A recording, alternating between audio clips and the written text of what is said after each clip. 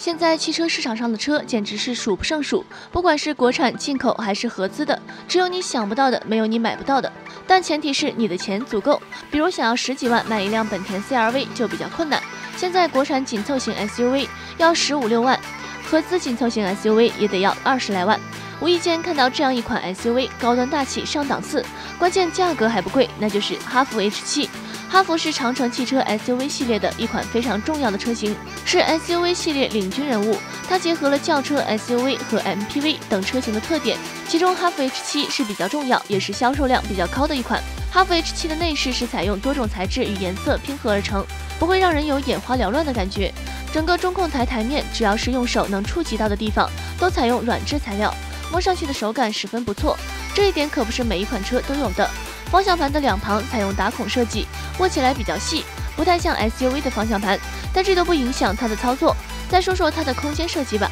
，H7 的后排座椅靠背可以按四六的比例放倒，内部造型非常工整。后备箱容积三百一十一升，如果把后排座椅全部放倒，最大容积为一千二百三十二升，这样的容量令人感觉很满意。在动力系统方面，搭载的二点零 T 涡轮增压发动机采用了双涡流技术，最大可以达到二百三十一马力，最大扭矩为三百五十五牛米，零百加速时间只需要九秒。对于一台重量不到两吨的车来说，已经不错了。哈弗 H 七的价格从十四万到十八万不等，性价比非常高，想买这个价位 SUV 的朋友不妨多看两眼。